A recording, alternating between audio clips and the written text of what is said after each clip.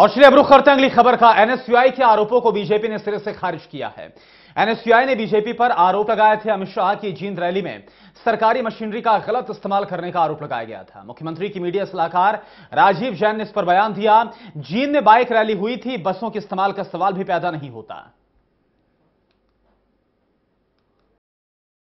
NSUI ने आरोप लगाया है कि अमित शाह की जींद रैली में हरियाणा राज्य परिवहन की बसों का इस्तेमाल किया गया है।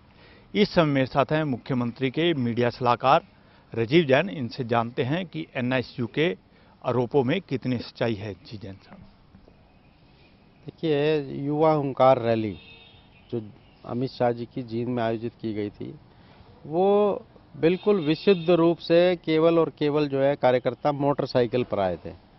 इसलिए एनएसयूआई के आरोपों में कोई दम नहीं है कि उसमें बसों का इस्तेमाल किया गया और जो है बसें, रोडवेज़ की इस्तेमाल की गई। और मैं समझता हूँ कि कांग्रेस का कोई भी कार्यकर्ता हो, कांग्रेस का कोई भी विंग हो, वो सब जो है सत्ता से बाहर होने के कारण जो है बौखलाए हुए हैं।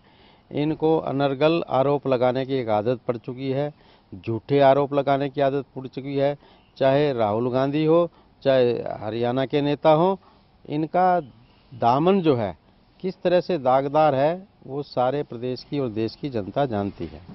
जैन साहब उन्होंने कहा है कि ये जो जानकारी है आरटीआई के माध्यम से हमने ली है। ये पता नहीं कहाँ से ली है किस से ली है क्योंकि जींद में जो रैली थी वो आपने भी देखा होगा आप लोगों की टीम भी जो है कवर करने गई थी। उसमें कार्यकर्ता केवल और केवल जो है मोटरसाइकिलों पे आए थे और 200-200 किलोमीटर चल के आए थे। ये थे मेरे साथ मुख्यमंत्री के मीडिया सलाहकार राजीव जैन। इन्होंने कहा है कि एनआईसीयू ने जो आरोप लगाए हैं वो निराधार है और अमित शाह की रैली मोटरसाइकिल रैली थी, ना कि बसों का वहाँ कोई काम था।